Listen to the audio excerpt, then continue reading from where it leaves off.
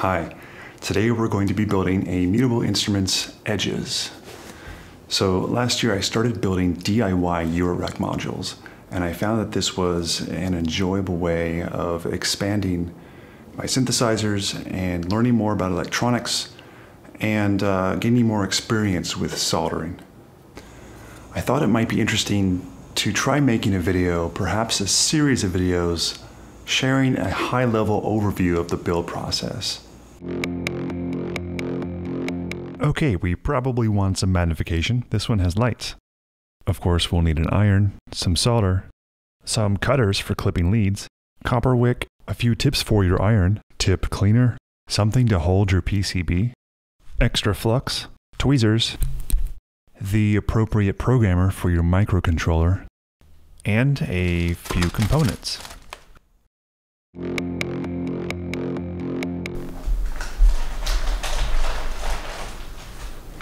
All right, so we have a blank PCB. Now, where do we start? Generally, the rule of thumb is to start with the ICs or the integrated circuits. And this is a Mutable Instruments digital build, so we have a microcontroller. And that guy is probably the hardest part of the whole build because the pin pitches are so tiny and they're so close together. Another reason why we want to do these first is because the ICs have these pads next to them for capacitors and resistors. Sometimes they're really close. And if we do those first, then try to place this microcontroller, those capacitors or resistors kind of get in the way.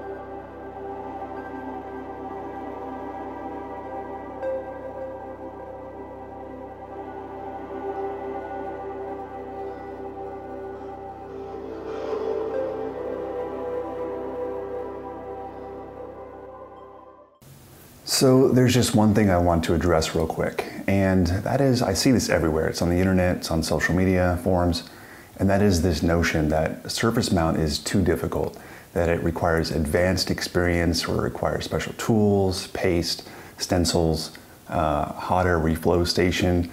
I think this is a total myth. Go to Amazon and buy one of their practice kits for like 10 bucks and watch an SMD soldering tutorial. I'll put a link down in the description.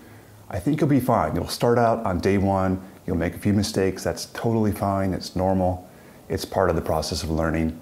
Uh, just go ahead and give it a try. I think you'll find that it's, it's not an issue.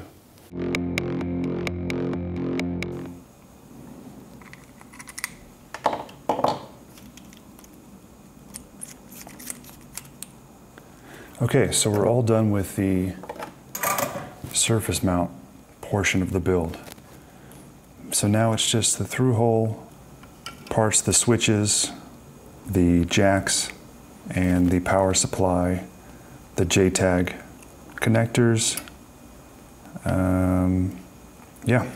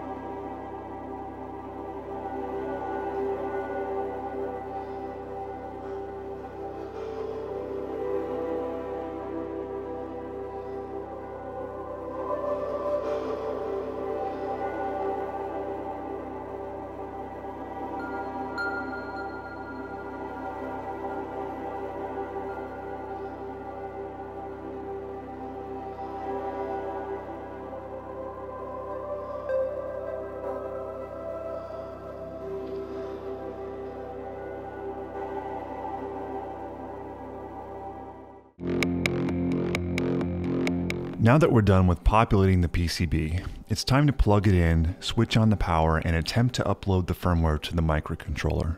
Now, some people prefer to do this before mounting the switches, the pots, and jacks, and that might be a good idea, but I'm feeling like everything went fine, so I just went ahead and finished it.